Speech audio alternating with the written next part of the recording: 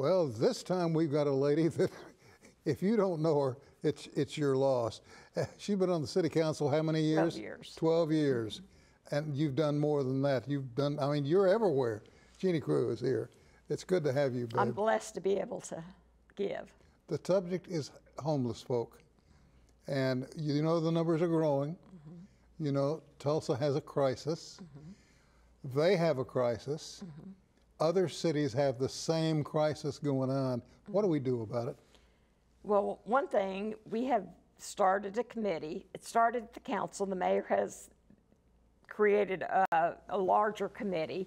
We meet every other week at least, if not every week, to talk about. You can have money, but if you don't have a plan, if you don't get those wraparound services, you're not going to accomplish anything. And being an ER nurse, volunteering at the day center like I've done in the past, we have to understand the needs. You cannot put someone off the street that knows how to be a good tenant, knows how to pay their rent, pay their electric, bring food in. We've got to keep those wraparound services. So that's something on the committee I've really been pushing. The homeless culture is so diverse. It runs from educated to non educated, black, white, Asian, any, any, any culture you want is on the street. I see them every day. And Sam. you know that you can't just go in and say, oh, you don't have a mental illness, Mm-hmm. because that ain't going to work. you got to have the wraparound services You've got to have all kinds of services. And where do we start? And that's what we're looking at. We were very blessed that the City of Tulsa citizens voted, as you are one of them, to improve our Tulsa project for 75 million. People don't understand you can't always come up with an idea. The money's not available now, but that's why we've got to come up with the best plan. That's why we've been to Denver. That's why we're going to Texas. That's why we've been in Oklahoma City. What is the best way to spend the money? We can tell you how not to spend it. We had an example of a hotel that residents didn't like, but we had to house people during last winter. I didn't feel like that turned out as great for our city and the use of our money. But we've got to figure out that plan. How are we going to get wraparound services in every hotel, every day center? The homeless does a great job because they have the staff there to do that. But we've got to educate citizens to understand these are not overnight problems. These problems have been going on for years, and they're in every city. And we've got to just have help. We've got to learn what other cities are doing, which that's what the city council and the mayor are working on now, finding the best practices. We've got to have those low barrier shelters. We have people coming out of the hospital that are homeless and no place to go. Well, the hospital's having to keep them longer, so then, you know, being a nurse, that's a concern for me because you're having to wait longer to get a room because we don't have rooms available because there's no place for some of our unsheltered to go. Mm-hmm. So we've got to work out plans. There's so many different groups that we're looking at. The people with mental health, the people with alcohol.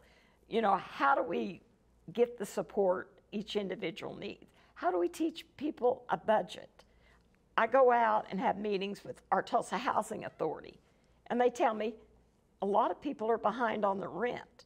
How are we helping them understand what their priorities are and understand we've got, we are the most blessed city with so many wonderful groups George Kaiser Family Foundation, Hardesty, everyone, I can't even name them all, that are helping.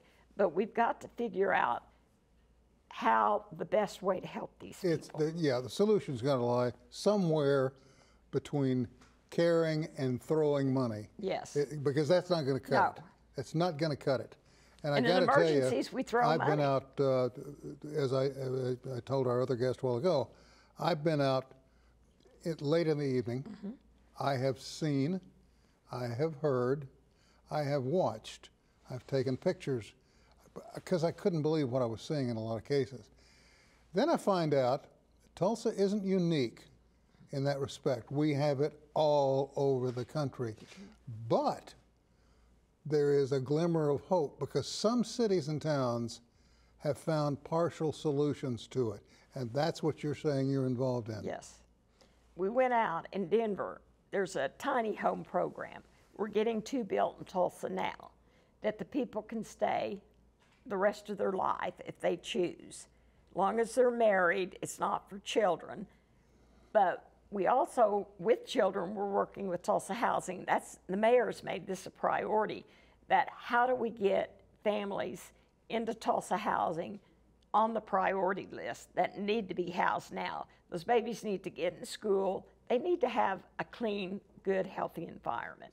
And so that's been the priority of this group with four councilors and the mayor and the mayor's staff and several of the nonprofits. So many of them living on the razor's edge Yes. are, evidence indicates that the child or the children in that family get their only balanced meal or perhaps their only meal of the day at school. I know. That's not the way it should be. No, it should not. And the parent is made to suffer. Emotions boil over. There's child abuse. And I mean, when they hit the street, oh it gets worse. Mm-hmm. So, I'm very involved in Webster High School, so I know those issues. And I get calls from my constituents. I had a lady the other day, doesn't have a car. I'm trying to help her learn the new microbus system, which is a change for people. It's kind of like an Uber type system.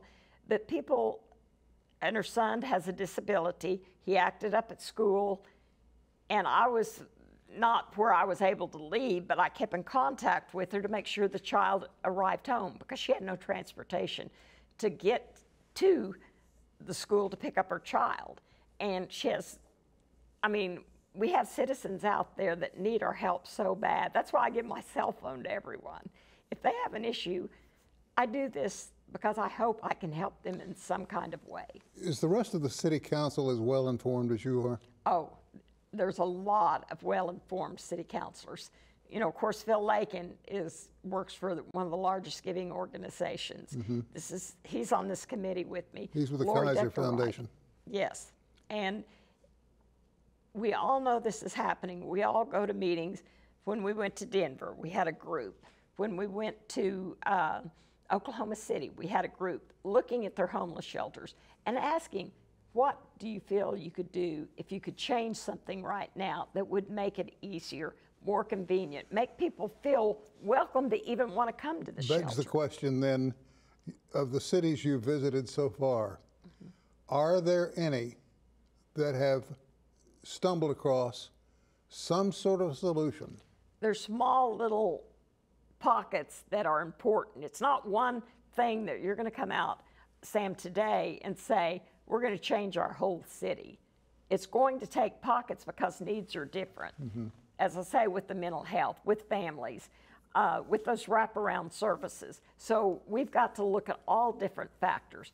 What's good in a tiny home for a single individual or a, a couple that needs a place to stay that have been on the streets for years is different than a family.